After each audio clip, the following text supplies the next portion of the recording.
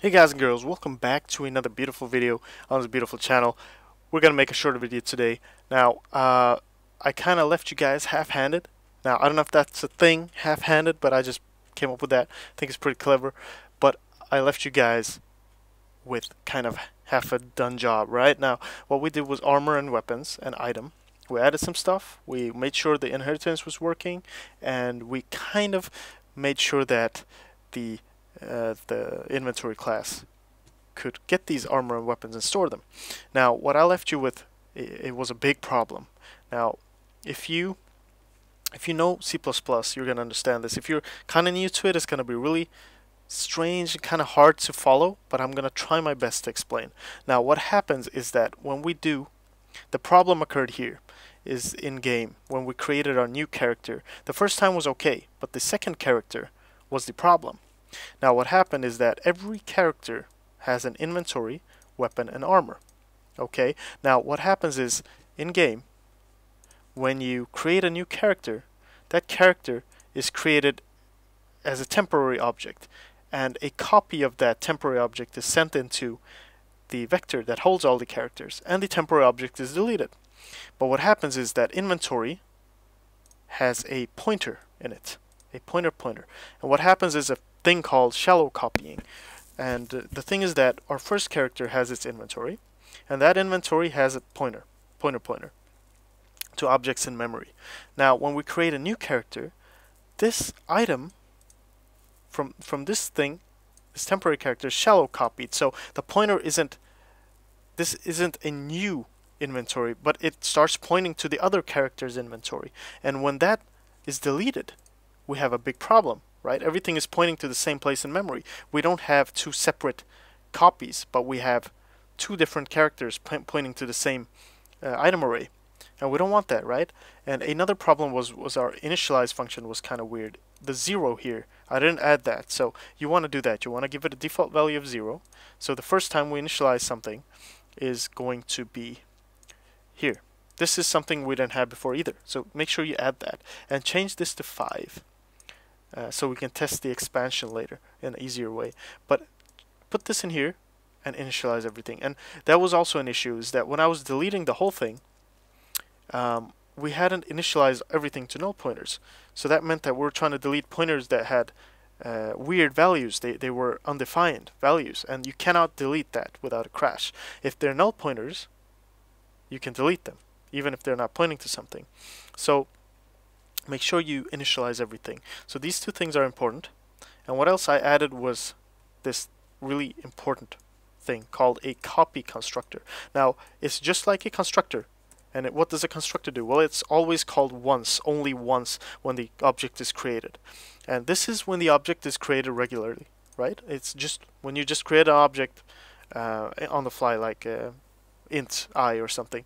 But this is a copy constructor. It's, it is used instead when an object is created using another object. So instead of int i equals 0, it is int i equals a, where a is another integer, for example, right? int a. So this object is created using another object.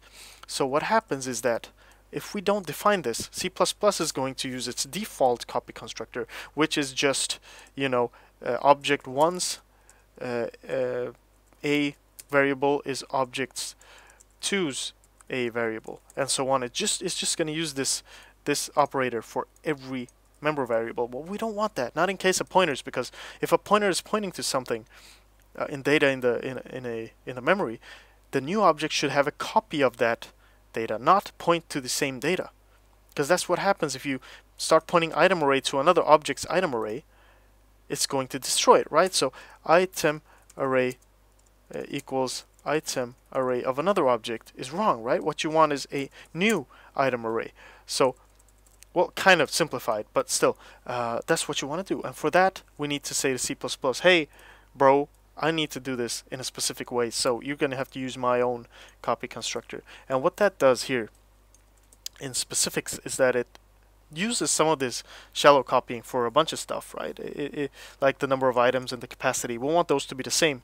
But the item array has to be a new item array with that size. And then we have to copy over stuff from the other uh, inventory into this inventory, the new one. right? We don't want to just point these to the other ones. So we do that. We, we create a big copy of everything and give it its own place in memory. And then we initialize the whole thing. And then just copy this and make sure you try to understand that. I, I, I think I explained it in, in some way uh, properly, but I hope uh, if you need more help, go to my example videos. I'll be making some example videos on this, explaining it more in detail. Uh, but you have the operator here as well, so we don't have to use a get function we can just use this operator and we overload it by doing this returning a reference to item don't forget the reference because remember we can't create an item it's going to give us an error we need to re return a reference to that item and add a specific index right so you do that uh, and, as well just add this size const return number of items so we can loop through all of these uh, but yeah copy this and then create a indexing operator, overloaded indexing operator. Now I haven't done videos on this either on my examples channel, but uh, or examples uh, playlist, but I'll I'll do that.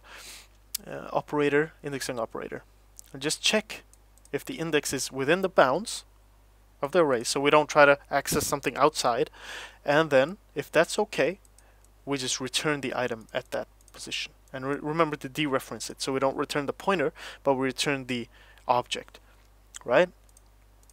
And that should be it. That should be fine. That should be great. Uh, and initialize what that basically does. We, we was a while back we made inventory, so we can just recap. Um, it goes from a index to the end of the whole array. Okay, the capacity, not the number of objects, but the whole capacity, even the empty items, the non-valuable items, and it just makes that null pointer. So when you expand it we can go from the valuable item, one after the valuable item, and just make everything null pointer after that. Kind of just clean the empty space, you know, just just clean it out. Just make sure it's not pointing to something weird. And uh, yeah, there you go. That's it. That's inventory. And we had to kind of clean this up and do this now because before the next video because it's kind of uh, kind of a bad thing to just leave in the open. And uh, I just wanted to make sure I, I got this in. So all our systems are now complete we can put stuff in weapons and armors into inventory and we should be fine. These are the only weapons and armors uh, that's that's going to be outside of of uh, of the, uh, what do you call it? The inventory right? These are the actual weapon and armor we're going to be using.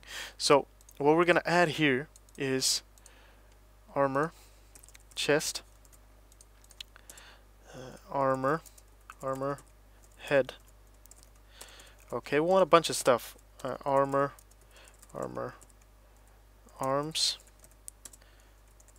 armor, legs, armor.